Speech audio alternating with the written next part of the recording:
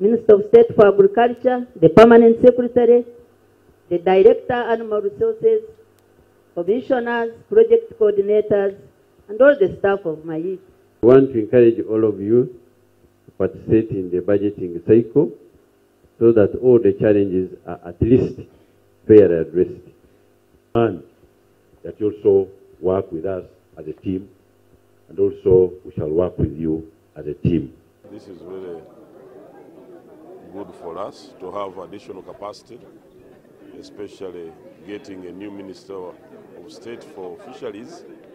Uh, fisheries alone, if well managed, can contribute very, very uh, strongly to our economy.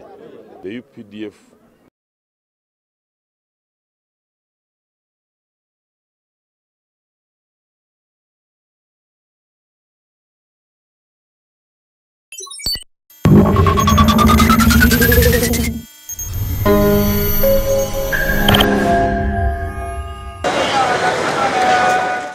Some of these vehicles are in the hands of a number of drivers, and many times the owner may not know who has their car. The Cavendish University Students application is designed to track the taxi drivers and the vehicles. changes hand from one to another, you can't know what happens. If the senior driver know whom he has given, then another one give to another, another one give to another one. All these three, five people, we can't know exactly what they plan to do. That's why at the end of the day, we found that there has been cases which have not been resolved, like safety, harassment, as a result of not knowing who is driving.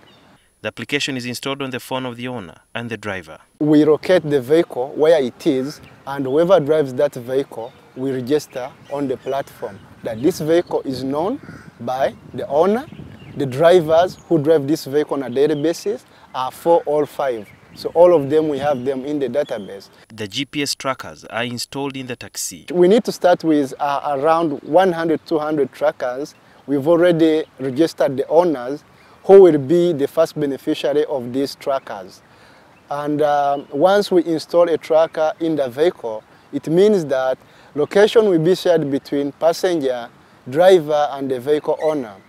Right now, to implement this project, we need assistance from the government because it involves everyone who uses public transport. The application, which is also powered by GPS, helps the passengers to locate the vehicle and its number plate in real time. We have around 20 terminals in Kampala. In case of a problem, the passenger can lodge a complaint or give feedback. some major of the accidents that have been happening in our country is not because they are accidental in nature, but it's because people make an alarm.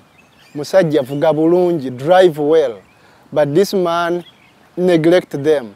What can you do to me? These people have no option. But if there's a system, if the driver is misbehaving on the road, I can easily make a call. If adopted, this system will tell how many public service vehicles are within the transport sector, and it also help the owners of the vehicles tell their location in real time. This is because more often than not, some of the drivers lie about their routes. sudil Yarhanga, NTV Innovation Nation.